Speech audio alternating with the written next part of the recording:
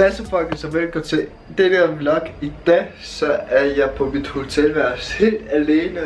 Øh, det er fucking fedt, at jeg er på mit helt eget hotelværelse. Det er fucking fedt. Øh, jeg er i Spanien i øh, Santa Saho, eller jeg kan ikke lige huske det lige nu. Men når jeg kommer i tanke om det, så vil jeg sige det. Ja, jeg har mit helt eget hotelværelse, som sagt. Jeg har mit bedste, det bedste tv i EU, altså på kig.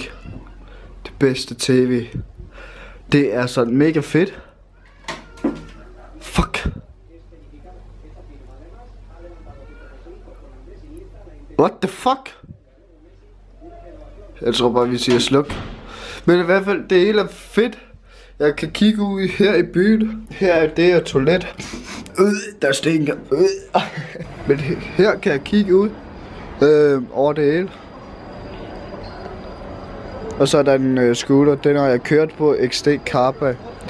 Men ja, der er en fodboldbane og basketballbane og en tennisbane og det hele. Det er fucking fedt. Mit helt eget hotelværelse. Ej, for sjov. Der, der stinker. Mit helt eget hotelværelse. Så ja, jeg er fucking glad for, at jeg har fået mit helt eget hotelværelse. Så jeg slipper for min mor. Altså ikke på den måde, men jeg slipper som sådan, at hun ikke prøver og sådan. en af de her uger, dage, så skal vi også øh, til Barcelona. Altså til, hvad det, til stadionet og alt det der ting der. Så det bliver fucking fedt. Jeg tror, det var det. Jeg tror, jeg vil vlogge via, når der sker noget spændende. Øh, så ja, ligesom til Kiel. Vi ses, guys. Hej hej. Hvad så folket, så velkommen til i dag. Øh, lige nu er jeg i gang med at lave min skolelektier, som I kan se. Øh, lige her øh, er jeg i gang med at lave alt det der til, så jeg sagde, at jeg skulle lave. Øh, og bare se og chille og skrive med vennerne, altså hvis det giver svar mig, rip. Øh, men i hvert fald, øh, en af dagene, jeg ved ikke hvornår, jeg tror det er på onsdag, så skal vi til fucking Barcelona stadion. Det bliver fucking fedt, at jeg kommer til at se det der stadion. Jeg er ikke fodboldfan eller noget, men jeg bare tænkt mig at se det der stadion. Fordi det er fucking grande og alt det der ting. Så nu når vi er i Barcelona, så, så kan man jo lige så godt. Og jeg pludselig har fundet ud af, at jeg er i Santa Susana. Hvis jeg ikke har lægget mærke til min uh, Snapchat, der mit navn er her, og det er René Description. Men øh, der står der så, at jeg, at jeg er Santa Susanna på det der filter, de har. Det er fucking fedt. Og der er godt nok meget med deres flader ud for. Lige, lige, what der? Jeg lige på at zoome ind. Altså lige der er der jo øh, Barcelona flag og deres land. Så jeg ser bare og hygger mig. Okay, guys, nu er vi på vej ind til øh, noget ATV noget. Det, øh, og så på lørdag onsdag skal vi hen og se Barcelona stadionet. Det bliver fucking fedt. Øh, der er også nogle store bjerge lige her. Øh, hvis I kan se dem der. Og så er der så noget sprændvand derovre. Øh, men i hvert fald vi er på vej hen til det der ATV-ting. Hvis, I- skal du prøve det, mor? Hvad? Skal du prøve det der ATV? Ja, sammen med dig. altså, det bliver nok fucking fedt at prøve at køre op på de der bjerge, bjerge der. Men i hvert fald, vi er på vej til stats nu. Okay, guys, vi har lige gået forkert i sådan ret meget nu. Så nu skal vi tilbage, den var vi lige gik. Og så op er Niden. Ja, der er Niden i, øh, i Spanien. Og så skal vi sådan... Øh, og så skal vi sådan øh, til venstre og så op. Og så er vi der, så kører vi ATV. Det bliver fucking fedt. Jeg håber, jeg kan følge med til vloggen.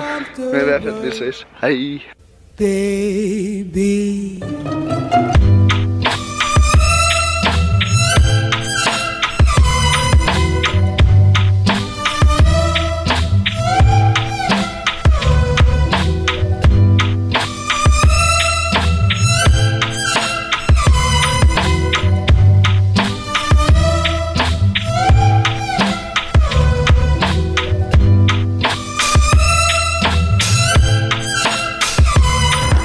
Så Morten, det går også to. Så er vi på egen hånd.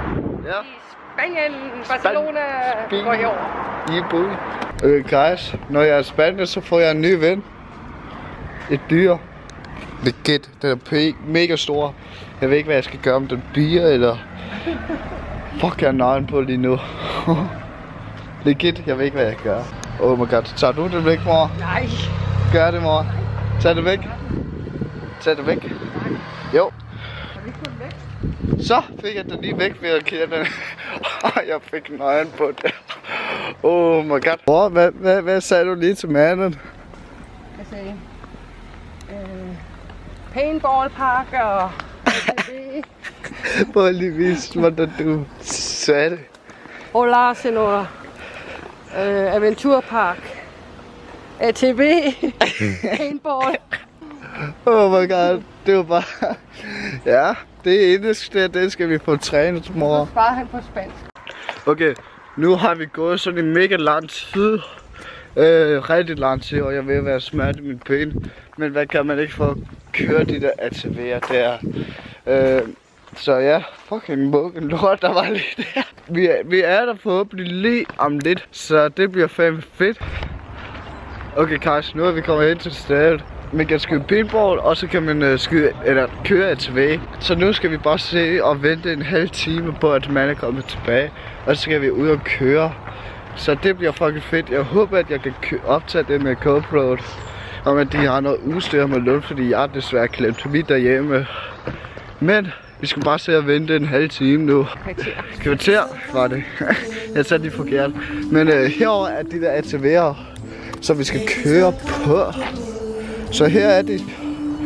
Så ja, okay, vi får. Så ja, vi ses. Lav lidt igen.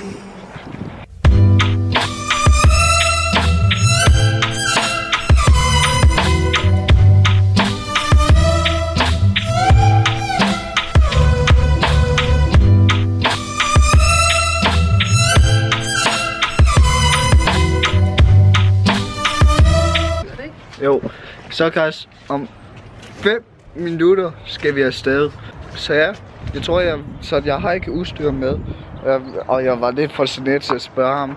Men øh, jeg tror bare, jeg tager min GoPro med i holder og så optager lidt undervejs, hvis jeg kan finde ud af at holde med to hænder. Men det får vi se. Det bliver fucking fedt at køre. Okay, guys, nu har vi lige prøvet det. Øh, der var desværre ikke mulig, mulighed for, at øh, jeg optog det med GoPro, fordi at der var ikke, fordi jeg glemte de der ting til min telefon her. Så jeg fik desværre ikke øh, optaget det. Ellers vil jeg super gerne vise jer det.